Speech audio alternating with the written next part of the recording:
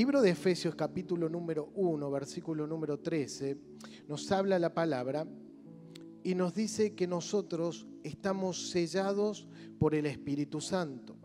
Este, esta palabra se repite también en la carta a los Corintios y el apóstol Juan también va a decir lo mismo. La importancia de tener un sello marcado como una propiedad de parte del Señor. Nosotros cuando venimos a Jesús, nosotros somos sellados por el Espíritu Santo. Dice la palabra también, he aquí el que está en Cristo, nueva criatura es. Las cosas viejas pasaron y Él las hace a todas nuevas. Así que siempre hay algo nuevo de parte de Dios. A Dios le encanta hacer cosas nuevas. Dios nos bendice. Estamos sellados por el Espíritu Santo. Nosotros vemos esto de sellar como una propiedad en toda la escritura, ya desde Génesis hasta Apocalipsis vemos cómo hay gente que es sellada, es sellada con una palabra, con una promesa y, sobre todo para una muestra espiritual, es una muestra de protección. Cuando nosotros venimos a Cristo Jesús, una nueva etapa comienza. Y nosotros, si estudiamos la palabra, vemos que hay un proceso de salvación y de santificación en nuestra vida que tiene dos efectos. Uno es el efecto inmediato, que es la salvación. En el momento que recibimos a Cristo Jesús en nuestro corazón, nosotros somos santificados. Estamos cubiertos con la sangre de Cristo, el poder redentivo del Señor nos limpia de todo pecado y de toda maldad. Pero también es cierto que la santificación en nuestra vida es un proceso donde vamos aprendiendo a caminar con el Señor y vamos siendo llenos del Espíritu Santo y vamos de poder en poder, de gloria en gloria. Creo que levantes tu mano al cielo y digas, voy de poder en poder. Vamos con ganas, voy de poder de poder y de gloria en gloria. Es nosotros lo que creemos que hay para nuestra vida. Hay un poder y hay un derramamiento de la gloria de Dios sobre nuestra vida pendiente. Nosotros creemos, estamos convencidos que lo que Dios ha derramado sobre esta casa no es todo lo que tiene Dios, que hay más. ¿Cuánto quiere más de Dios? Hay más de Dios, hay más de Dios. Y yo te decía, cuando venimos al Señor somos sellados como propiedad del Espíritu Santo. El Señor nos exhibe como propiedad suya. El Señor nos muestra. Y ese mostrar también es frente a las potestades espirituales. El libro de Efesios también dice que nosotros no tenemos lucha contra sangre ni carne, sino contra un reino espiritual de oposición. Hay siempre algo que, me gusta rescatar, eh, que nosotros, por ejemplo, lo vemos muy claro en el Instituto Bíblico. Nosotros, el significado de Satanás es adversario. Y hay el error que es muy común de entender que Satanás es el contrincante o el equivalente de Dios en versión negativa. Es una creencia, la gente hasta, eh, he visto hasta dibujos de, Satanás como lo dibujan, en una pulseada con, con Jesucristo, mostrando como un plano de igualdad, que si uno dice blanco, uno va a decir negro. Si uno dice boca, va a decir river. Por el contrario, y si uno habla del enemigo del Señor, va a hablar de Satanás. Ahora la palabra no nos enseña eso. Satanás no califica para rival de Dios. Si bien es un adversario y se opone contra todo lo que es Dios, no califica como adversario porque Dios es un ser eterno y el creador de todas las cosas y Satanás es un ser creado. Es adversario del ser humano en realidad. Es adversario de Dios, es cierto, pero el equivalente que él vendría a tener no deja de ser otra cosa que un ser creado. Y todo este mundo espiritual nos confronta y hay luchas espirituales en nuestra vida. Si bien cuando llegamos al Señor somos sellados por el poder del Espíritu Santo, hay confrontación y hay luchas espirituales que nosotros tenemos que dar. Yo te quiero llevar una historia que está en el libro de jueces, en el capítulo número 6. Voy a leer algunos versículos, yo te animo a que vos lo puedas hacer en tu casa. Es un personaje eh, fascinante desde todo punto punto de vista de su origen familiar, de las decisiones que toma, de su valentía y de sus dudas. Se llama Gedeón. Te meto en contexto de la historia. El pueblo de Dios ha entrado a su tierra prometida. Ellos han salido de la cautividad de Egipto, han caminado por el desierto donde no podían sembrar, y si uno no siembra no puede cosechar. Y finalmente luego de un periplo y de unas continuas victorias que Dios le dará, que está registrado en el libro de Josué, llegamos al capítulo de jueces, donde Dios va a levantar cientos hombres y mujeres también para traer libertad a su pueblo.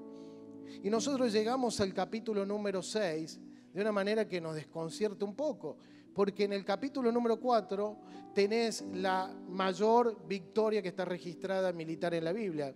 Es una de las mayores que está registrada. Y en el capítulo 5 encontrás un cántico de adoración por la victoria que Dios ha dado. Una victoria tremenda, una victoria donde se ha visto la mano de Dios. Entonces cuando uno llega al capítulo número 6, se siente un poquito de, eh, desconcertado, porque el pueblo vuelve a caer en errores del pasado.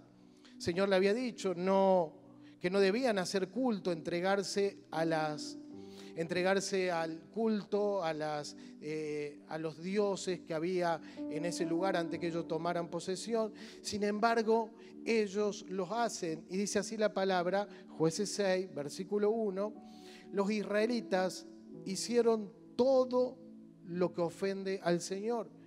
Y Él los entregó en manos de los madianitas durante siete años. Era tal la, tiranía de los madianitas que los israelitas hicieron escondites en las montañas y en las cuevas y en otros lugares donde pudieran defenderse. Siempre que los israelitas sembraban, los madianitas, amalecitas y otros pueblos del oriente venían y los atacaban acampaban y, arruinaban las cosechas de todo el territorio hasta la región de Gaza. No dejaban en Israel nada con vida, ni oveja, ni bueyes, ni asno. Algunas consideraciones que te quiero decir acerca de esto. Los israelitas hicieron lo que ofende y se los entregó en manos de los madianitas. Yo te hablaba acerca de que el enemigo es un ser creado y a veces y a veces Dios permite, Dios permite que sucedan cosas en nuestra vida para que se ejecute un proceso de rompimiento y de libertad. En este caso, esta gente fue caer en manos de los madianitas. Durante siete años ellos sembraban y cuando levantaban la cosecha, o sea, cuando la levantaban a la cosecha, venía esta gente que se identifican tres pueblos, se identifican como enemigo principal los madianitas, aliados de los amalecitas y los pueblos del oriente o del desierto. Esta alianza de tribus nómades que venían, invadían, generaban para mí la peor de las pérdidas. El otro, el otro día tenía la oportunidad de escuchar venía en el auto y venía a escuchar a un, hombre que se dedica a las finanzas y él decía algo que me, la verdad que me llamó la atención. Dije, qué razón que tiene este hombre, porque él dijo, cuando uno hace una inversión, lo peor que te puede pasar no es perder, sino creer que has ganado y cuando va a buscar la ganancia no encontrar nada. Parece que es muy llamativo porque uno trabaja, siembra y a veces hasta cosecha y se le puede escurrir esa cosecha en las manos. Esta gente sembraba, hacía todo ese proceso bien y cosechaba. Y cuando era el momento de recibir la cosecha y disfrutar la cosecha, venía el enemigo y se las quitaba de las manos. Yo quiero que levantes tu mano al cielo. Hoy es una noche de libertad y de bendición, donde creemos en la bendición del Señor, en la libertad que trae el Espíritu Santo. Si has estado pasando por una presión, si se te ha robado cosecha de tu siembra, hoy es una noche de impartición, de libertad, que vuelve lo recuperado y que Dios traerá libertad y traerá bendición cuando dicen conmigo, amén, bendito sea el Señor. Mira, Tres enemigos identifica la palabra, los madianitas, los amalecitas y los pueblos del oriente. Eh, eh, simbolizan diferentes cosas. Todo lo que nosotros encontramos en la palabra tiene un simbolismo, ya sean colores, números, cuando uno lo, siempre lo confronta con una doctrina adecuada, ¿verdad? Y hasta aún los personajes históricos significan cosas.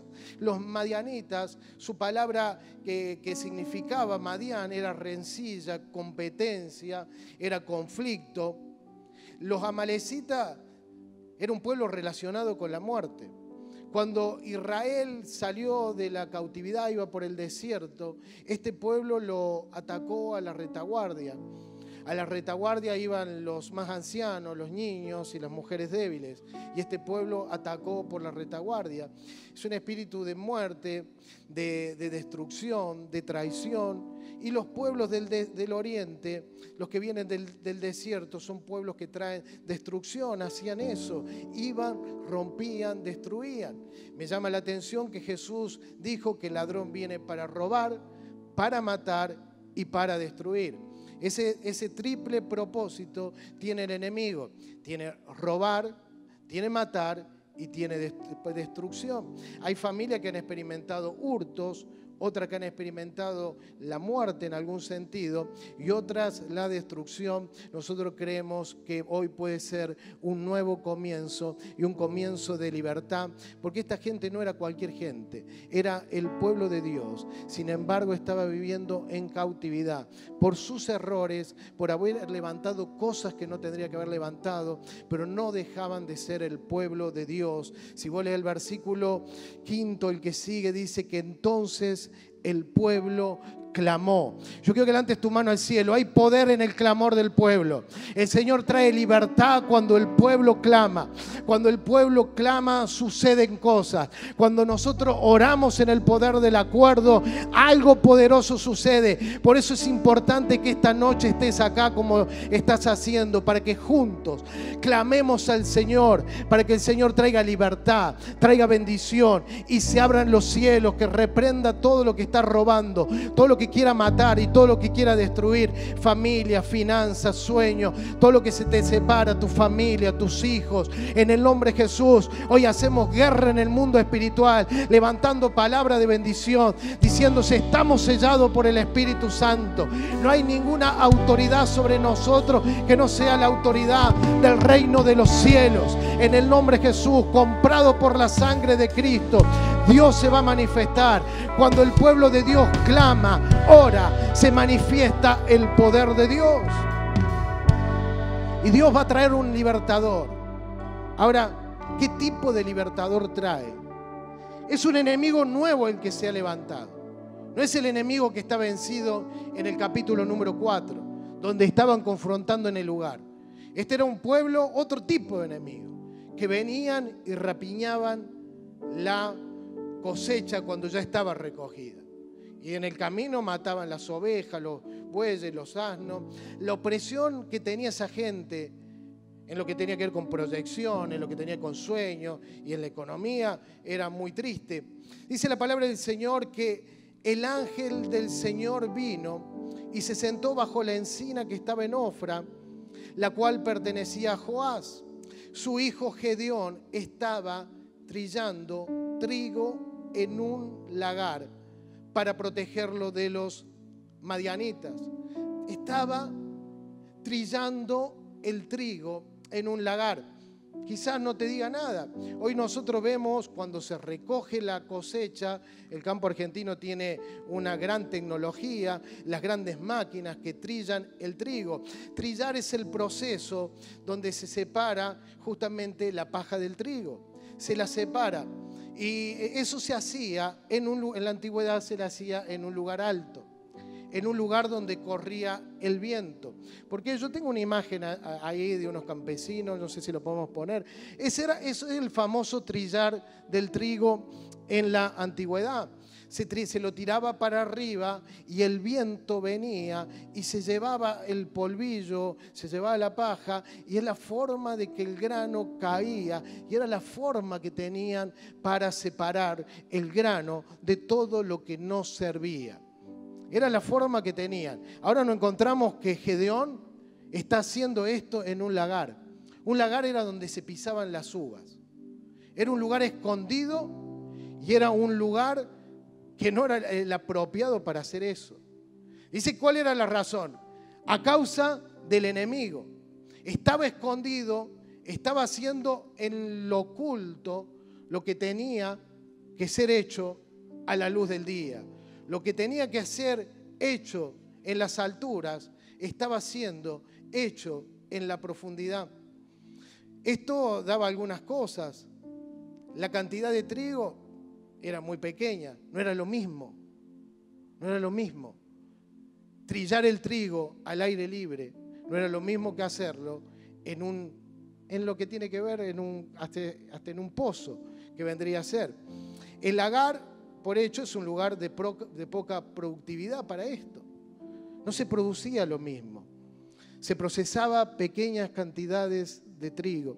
Lo cual, mira, si vos venís un año y robás la cosecha, segundo año robás la cosecha, tercer año se roba la cosecha, lo que se está robando también es la semilla. Y Gedeón la estaba cuidando. Y Gedeón le estaba cuidando. Claro, era un trabajo muy duro, era un trabajo muy manual, hecho con esfuerzo. No la, no la podía aventar al aire porque tenía miedo que se la robaban. Era un lugar donde se producía poco. A pesar de que la tierra producía mucho, lo que él tenía era muy poco. La otra cosa, que en el lagar no había la ayuda del viento. No soplaba el viento en el lagar. Se pide que levantes tu mano con fe. Hoy el Señor quiere volver a soplar. Hoy el Espíritu Santo quiere ayudarte hacer su obra. Hoy el Espíritu Santo quiere traer libertad, quiere soplar en el nombre de Jesús. Yo quiero hablar esta palabra para todos los que hoy están trillando en un lagar, que ven poca productividad, que se han cansado que quizá la, cosecha termina siendo muy poco a, pesar de haber trabajado tanto. Hoy quiero decirte que vuelvas a trillar el trigo en la altura, que salga a la superficie. ¿Sabes qué? Nuestra fuerza, en la tuya, en la mía, se nos hace difícil, pero cuando viene la ayuda del viento, del espíritu que sopla, la tarea se hace mucho más fácil. Hoy sopla el Espíritu Santo. Te a declararlo y decirlo, hoy sopla el Espíritu Santo. Hoy sopla el Espíritu Santo sobre nuestra cosecha. Nosotros ayer sembramos en bendición, marchamos por la ciudad haciendo un acto profético y creemos que el Espíritu Santo traerá su viento sobre nuestra tierra. Y hoy el Espíritu Santo, si te animas a creer, vuelve a soplar en tu casa, vuelve a soplar sobre tu familia, vuelve a dar una productividad aún mayor. La cantidad de trigo va a ser mayor. ¿Te animas a quedar conmigo? La cantidad de trigo será mayor. La cantidad de trigo será mayor. La cantidad de trigo será mayor. La productividad irá en crecimiento, irá en crecimiento. Se nos decía que ya se habilita el 80%. Bueno, ese 80% nos va a quedar chico porque viene el soplido del Espíritu Santo en el nombre de Jesús. Viene sobre tu vida, viene sobre tu familia. Hay bendición en el nombre de Jesús. Claro, Gedeón en el miedo estaba haciendo esa tarea.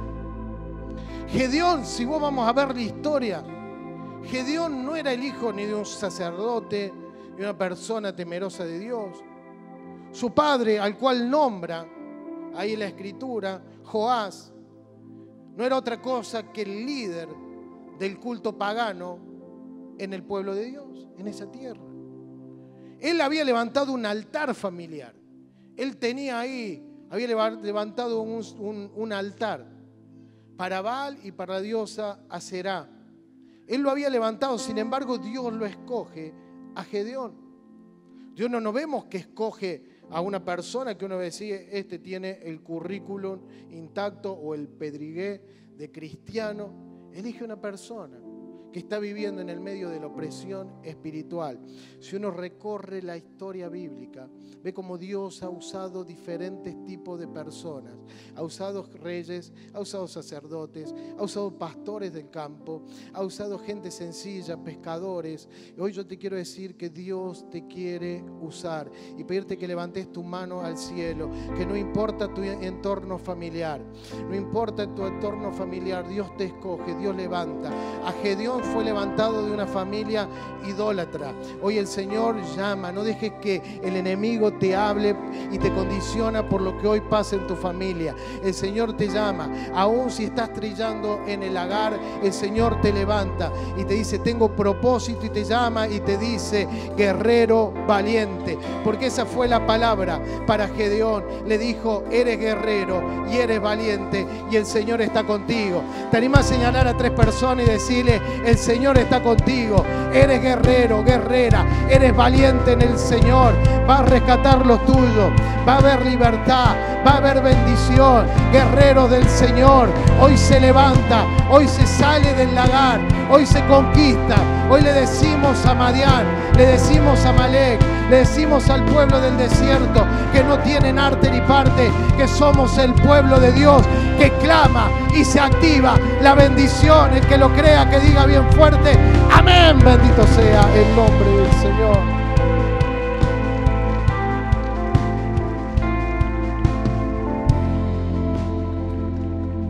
Paradójicamente, este hombre Joás, el papá de Jeón, era un hombre que tenía recursos, era un hombre de dinero. El trigo se trillaba usando la fuerza de los toros. Sin embargo, este hombre se deduce por el contexto bíblico que tenía su mejor toro consagrado a Baal. Hay altares familiares, hay cosas de nuestro pasado que a veces afectan la productividad. Hay luchas que hacemos nosotros en nuestras, en nuestras fuerzas humanas que no son suficientes. ¿Por qué? Porque no sopla el Espíritu. Y acá la atadura es familiar. Ellos habían consagrado un culto.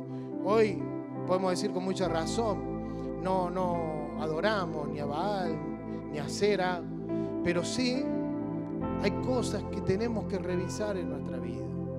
Hay cosas que nosotros a veces tenemos que mirar atrás. Hay cosas que tienen que ser cortadas. Este culto traía todo lo que hablamos. Y puede ser que en la vida de la gente hay cosas que, pesar de haber sido sellado por el sello del Espíritu Santo, tiene que ser llamada corrección, tiene que ser llamada libertad. Porque quiero decirte lo siguiente, yo empecé con una introducción diciendo que el enemigo es una creación. Dice la Biblia en el libro de Isaías que aún para el tiempo de la destrucción el Señor creó al destructor.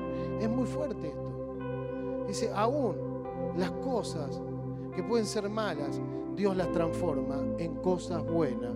Y lo que está haciendo un proceso de justamente una disciplina de Dios se puede volver en un clamor de bendición. Créele al Señor. Y lo primero que va a hacer el hace muchas cosas, yo quiero ir a la palabra, avanzar. Te invito a que vos fluyas en la palabra en tu casa, seguramente Dios te revelará otras cosas. Pero dice la palabra lo siguiente, versículo 25, aquella misma noche el Señor le dijo, toma un toro de rebaño de tu padre, el segundo, el segundo. De esto se deduce que el primero no el engordado, dice una versión. Se engordaban, se engordaban, los primeros se los engordaban para ofrecerlo a los ídolos. Mira, es la locura. Están viviendo un tiempo de escasez, un tiempo donde se necesitaba la fuerza bruta del animal y había sacrificios familiares. Mira cuando uno no está en la voluntad del Señor, cómo se pierde fuerza, cómo se pierde finanza, cómo se pierden cosas que, están, que podrían ser de bendiciones. Señor dice, no, no va a tomar lo primero, voy a usar lo segundo. No voy a usar lo más fuerte, no voy a usar lo más visible, yo voy a usar lo segundo, porque Dios puede hacer grandes cosas aún con lo segundo. ¿Cuánto dicen amén? Dios puede hacer grandes cosas aún con los que no están en primera fila. Dios puede hacer cosas con gente como Gedeón, que está escondida en un lagar, pero por lo menos está tratando de hacer algo. Y Dios te ha visto que está tratando de hacer algo. Quizá en tu fuerza, luchando, quizá en un contexto familiar adverso, Dios te mira como a Gedeón. Entonces le dice, mira, dice, y construye un altar, pero antes va a hacer esto, toma el segundo toro que tiene tu padre y derriba el altar que tu padre ha dedicado a Baal. Es una locura. El, padre de este hombre era efectuado como el líder del culto pagano. Y se va a derribar el altar familiar, el altar que está levantado y el poste con la imagen de la diosa Aserá que está junto a él. Baal y Aserá eran un culto muy poderoso. Eran como una pareja. Era una, una figura de opresión. Era una figura familiar incorrecta. Hay, hay altares a veces familiares que tienen que ser destruidos, que deben ser cortados. Dice versículo 26, luego sobre la cima de este lugar de refugio construye un altar apropiado. Diga conmigo, apropiado apropiado. Te levantar la mano al cielo, Espíritu Santo, Señor. Hoy queremos construir un altar apropiado. Señor, que tú nos llenes de tu gracia, que tú nos llenes de, de, tu favor. Señor, ataduras del pasado, ataduras familiares, que caigan en el nombre de Jesús. Señor, esta palabra que sea de libertad. Señor, para aquellos que están en un proceso, Señor, que se han vuelto a Dios. Hoy el Señor te dice, tenés que levantarte y tenés que levantar un altar apropiado. Oh Ramaya Kaya la Laquía. Levanta un altar para el Señor. Entonces toma la leña del poste de acerá que cortaste y ofrece el segundo toro como un holocausto. Vas a usar la leña del altar pagano, la vas a usar como un combustible de fuego. Yo quiero que levantes tu mano al cielo. Escúchame, la opresión de hoy será el combustible de un avivamiento. Si levantás un altar apropiado para el Señor, en el nombre de Jesús, hoy es una noche de libertad, de bendición. Dice así la palabra, Gedeón llevó a diez de sus siervos e hizo lo que el Señor le había ordenado. Pero en lugar de hacerlo de día, lo hizo de noche, porque tenía miedo de su familia y de los hombres de la ciudad.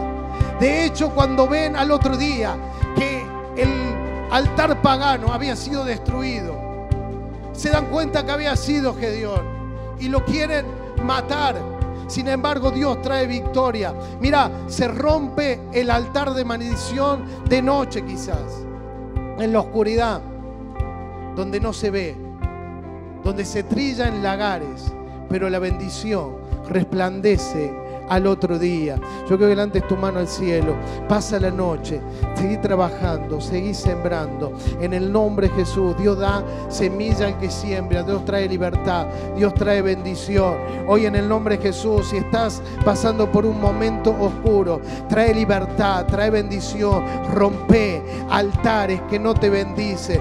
Rompe relaciones inadecuadas. Rompe prácticas. En el nombre de Jesús. Prácticas quizás hasta financieras que te hacen mal, que no te bendicen, actitudes, prácticas y créele al Señor por algo grande. Yo te decía que adentro del lagar no se contaba con la ayuda del viento. Bueno, Dios lo levanta a Gedeón y le dice, dice el versículo 34, vino el poder del Espíritu sobre Gedeón y tocó la trompeta y despertó a toda su familia. Quiero que te pongas de pie en esta noche. Hoy es una noche de libertad, es una noche de administración. Voy a pedir a los hermanos de la alabanza y la oración a todo el equipo que pase y que te anime a levantar tu mano al cielo. Y yo no sé si tenés que renunciar a algún altar familiar, algo que levantaste. Hoy le hablamos a Madián, hoy le hablamos a Malek, hoy le hablamos a lo que viene a cortar, a robar, porque viene una bendición grande, viene cosecha extraordinaria sobre tu casa y sobre esta casa. Hay libertad. Si vos seguís leyendo la historia, la familia de Gedeón fue despertada y tu familia va a ser despertada. Acá hay un Gedeón, hay una Gedeón que está levantando un clamor en la noche que va a despertar a su familia. Pasará la noche, pasará la opresión Cae en el nombre de Jesús toda oposición espiritual. Hay libertad, hay bendición. Salí del lagar. Vamos a cielos abiertos. Vamos a tirar la cosecha al aire. Va a ser productiva. Tírala al aire, tírala al aire, soltala. En el nombre de Jesús hay bendición, hay libertad. Oh Ramamaya, calla la guía. Oh Ramamaya, aquí presencia de Dios.